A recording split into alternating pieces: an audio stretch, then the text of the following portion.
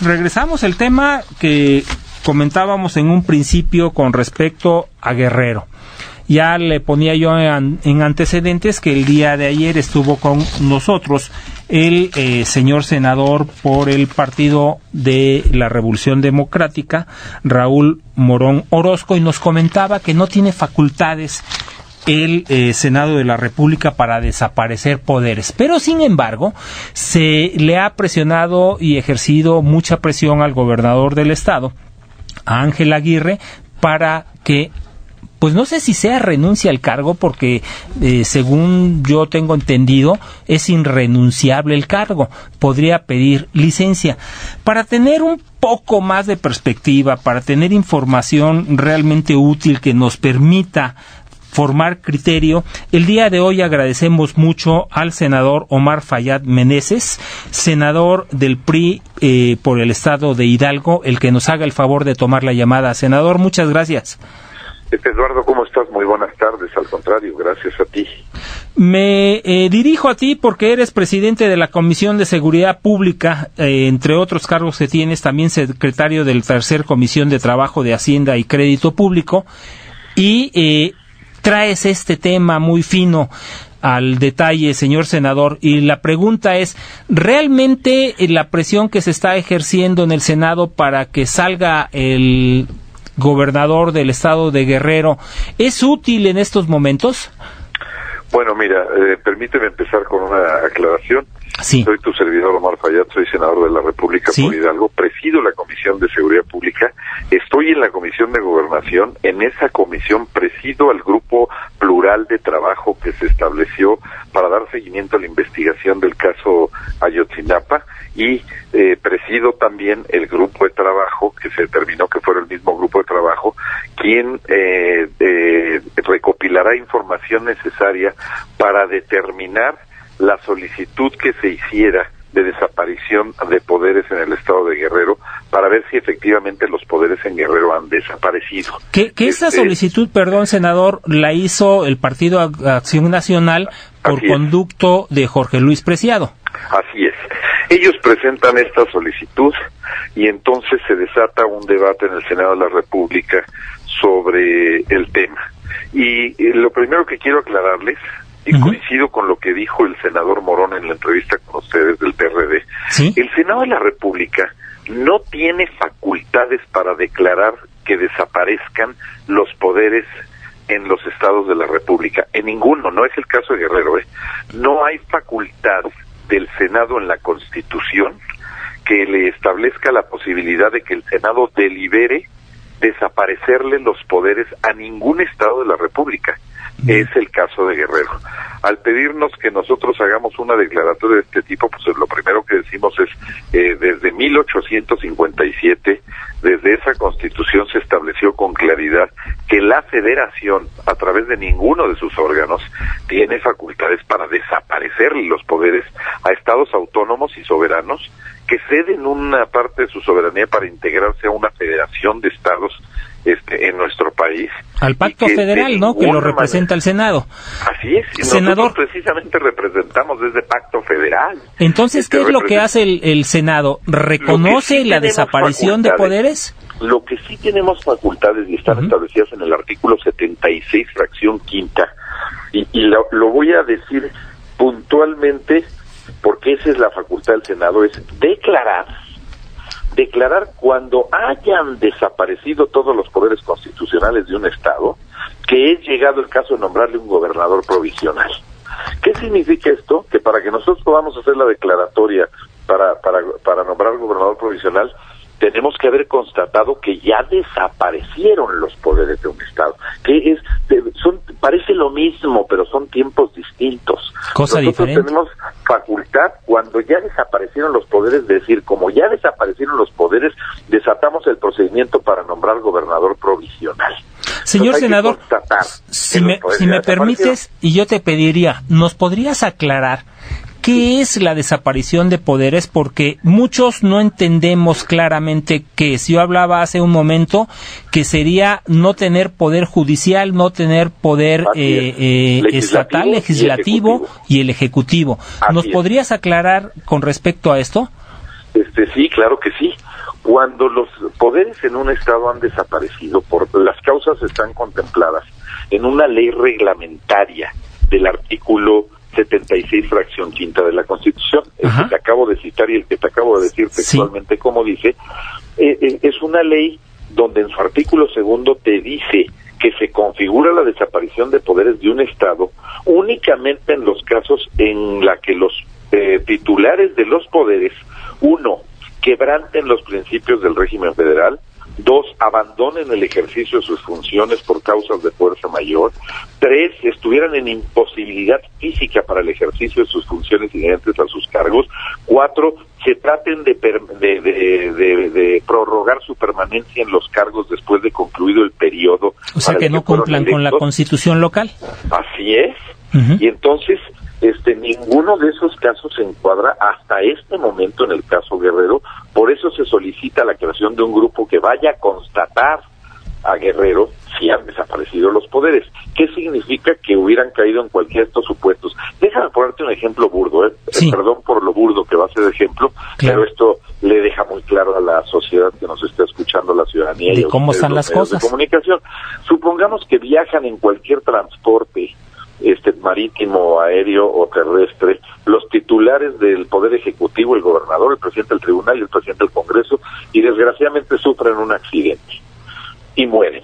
Bueno, en ese momento eh, queda claro que quienes fueron electos, tanto para ejercer el, Poder Ejecutivo como eh, quien coordina el Poder Judicial este y el Poder eh, legislativo, están en imposibilidad de ocupar sus cargos, pues entonces se, constata que han desaparecido los poderes constituidos y luego entonces el Senado de la República tiene que decir, como murieron los titulares de los poderes, es momento de que el Senado de la República convoque al procedimiento para elegir un gobernador provisional y ese gobernador solo tendría facultades para convocar elecciones y volver a constituir los poderes legítimamente otra vez. Habría que hacer elección de gobernador, habría que hacer elección del Congreso y habría que promover quién, este, según las leyes de cada estado, puede ocupar el poder judicial. Como presidente del poder. Ok, en este orden de ideas, señor senador, en este orden de ideas y como están las cosas en Guerrero, ¿Qué es lo que se está solicitando entonces? Que el gobernador del estado, el representante del ejecutivo, presente una solicitud de licencia? A ver, al no eh, encuadrar ninguno de los casos de desaparición de poder, de los poderes, de los tres poderes del Estado, bueno, hay otros caminos. Si creen que el gobernador lo está haciendo mal, pues hay forma de cómo señalarle esto, se puede hacer un juicio político, o la figura que los estados de la República este, contemplen en sus propias constituciones y demás, pero no la desaparición. O sea, lo que le piden al Senado, no lo puede hacer. El Senado no es tribunal para poder determinar si le desaparece los poderes a un Estado. Sí, sí me explico, ¿eh? Sí, perfectamente. no solamente es la autoridad para decir, híjole, como ya le ya desaparecieron los poderes de un Estado, vamos a convocar a que se integren nuevos poderes, eh, nombrando un gobernador provisional y se establece que el Ejecutivo Federal, o sea, el presidente de la República, le manda una terna al Senado, el Senado escoge, nombran un gobernador y ese gobernador llega, organiza las elecciones y se va. Y además, ese mismo no puede ser electo gobernador, esa es la regla. Entonces, ¿qué es, qué es lo que creo que puede pasar en Guerrero? Bueno, que a lo mejor hay eh, falta de pericia del gobierno local, ha dejado de ser interlocutor, hay un conflicto político serio, pero el, el poder que está en ciernes en Guerrero es el Ejecutivo, pero no han desaparecido los otros dos poderes, ¿por qué los vamos a declarar nosotros desaparecidos? Claro. En todo caso, por eso los grupos parlamentarios, ¿eh? ni siquiera como Senado, el Senado no le ha enviado ninguna sugerencia de presentar licencia al gobernador de Guerrero, sino que los representantes de los grupos parlamentarios en el debate han dicho, este, algo que yo recogí de declaraciones del gobernador en días pasados, por ejemplo, dijo el gobernador, si creen que la salida del gobernador puede representar parte de la solución del conflicto, pues entonces presentaría yo mi solicitud de licencia. Los cargos de elección popular como el de gobernador son irrenunciables. No puede renunciar. Ah, pero sí puede pedir licencia con carácter temporal para permitir que fluyan las cosas, que haya un nuevo interlocutor. Como sucedió en Michoacán, ¿no? Exactamente, exactamente. Ahora, eh, ¿se podría dar el caso, por ejemplo, que en este mismo año dos gobernadores del PRD, por cierto, pidan licencia? ¿Cómo, cómo lo ves tú como senador? Este, perdón, ¿cuál fue el otro que pidió licencia? Porque eh, en el caso, por ejemplo, de Guerrero y el de Michoacán que, no, es que en el de pues ya pidió licencia el, gobernador, el gobernador que pide licencia es del PRI. PRI, sí, sí es cierto, prista. Sí, Fausto, Perdón, Fausto, Vallejo, prista, Solo sí es sería cierto. un caso este año en que un gobernador del PRD, si se diera el caso, pidiera licencia. Él no la ha pedido y tampoco el Senado tiene facultades para obligarlo a renunciar ni a pedir su licencia. ¿eh? No, no hay facultades tampoco para eso. No las hay. Entonces, el camino que buscó el Partido Acción Nacional me parece eh, este, más eh, complejo porque lo primero que tenía que tendría que ocurrir para que hiciéramos la declaratoria de desaparición de poderes es que ya hubieran desaparecido los poderes. Claro, y no se ha dado a- el caso. La información con la que contamos, porque aquí se tienen pruebas documentales y también hubo presencia física de, de los poderes de, de Guerrero en el propio Senado. Senador, ¿me permitirías ir a un corte y regresar Por contigo? Porque ya ves que aquí la guillotina es fuerte. Estamos platicando te con el senador Omar Fayad Medeces. Él es senador por el estado de Hidalgo y presidente de la Comisión de Seguridad Pública e integrante de la Comisión de Gobernación en el Senado de la República. Señor senador, eh, ya tenemos el contexto muy claro de lo que puede y no puede hacer el Senado de la República, de lo que está sucediendo en- Guerrero. Y yo te preguntaría, ¿beneficia o todo lo contrario el que en estos momentos, por ejemplo, el gobernador del estado de Guerrero pida licencia? Mira, este, muchos en el Senado, varios de los grupos parlamentarios hemos reflexionado sobre el tema y la, el común denominador es que sí. ¿Por qué? Porque eh, se siente en el ambiente político por los acontecimientos que han ocurrido que el gobernador quizá no es ya el mejor interlocutor entre las partes en conflicto. Esto significa que no es el mejor interlocutor con las familias de las víctimas, con las víctimas, con los grupos sociales que se están manifestando y protestando. Y eh, eh, el- se le acusa, yo no lo acuso, pero, pero eh, entendemos que hay un señalamiento claro que ha habido falta de sensibilidad, falta de pericia, este, que cómo era posible que no supiera lo que estaba ocurriendo en Guerrero y en los municipios, cómo es posible que hubiera presidentes municipales con las características que hoy ya sabemos y que no pasara nada, en fin, hay muchos señalamientos por los cuales los grupos ayer subieron a tribuna su posición y su posición es, señor gobernador, permita usted que fluya la solución del conflicto si este presentando su licencia temporal, ¿no? Este, para ver si esto puede dar pie al mejoramiento de las condiciones políticas para resolver los conflictos en Guerrero. Eso es lo que ayer los grupos parlamentarios, a grosso modo, señalaron. No fue una instrucción del Senado ni un acuerdo del Senado el que se le pida la licencia al gobernador, ¿eh? eso lo dejo muy claro. O Fue sea, en eh, los es parte de los grupos parlamentarios. Así es, cada partido pues posiciona lo que quiera. El mío hizo su posicionamiento, el, el, el PAN hizo el suyo, el PRD hizo el suyo, en fin. Todos posicionaron ayer y dijeron lo que a su grupo parlamentario compete, pero no hay una instrucción del Senado y no la puede haber en donde digan que el Senado ya acordó la licencia del gobernador de Guerrero. Eso no se puede, ni se va a poder. Entonces, lo que se especulaba que el día de hoy probablemente se pudiera tener la solicitud de licencia del gobernador no es algo que se dé por Ah, cierto. Este, no, puedo saberlo. Ah, pero lo que sí es un hecho es que el gobernador, en un acto voluntario, puede hacerlo en cualquier momento. Él puede solicitar licencia temporal en cualquier momento, porque su cargo es irrenunciable. Él no Claro. puede renunciar al cargo, Mm. pero sí puede decir solicito una licencia temporal y hasta le puede poner la temporalidad. ¿eh? Puede ser de un día, de una semana, de un mes, de dos meses o de lo que le reste de periodo, pero es temporal. Bien, pues ahí tenemos más claro ni el agua, señor senador. Te agradezco muchísimo el que nos hayas tomado la llamada, que nos des elementos útiles para la toma de decisiones y me gustaría invitarte a esta mesa de trabajo para que abundemos sobre los temas que son tan eh, útiles para la sociedad.